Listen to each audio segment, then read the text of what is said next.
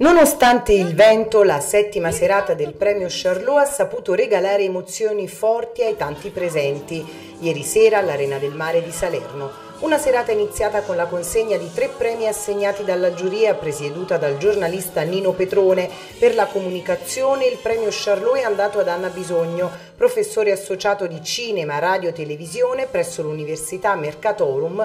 Per il cinema all'attore Francesco Di Leva, premio Charlot grandi protagonisti dello spettacolo assegnato invece ad Ornella Muti, che sul palco ha ricevuto anche un quadro realizzato dall'artista Domenico Villano e donatogli da Marco Giordano, presidente di Re d'Italia Art.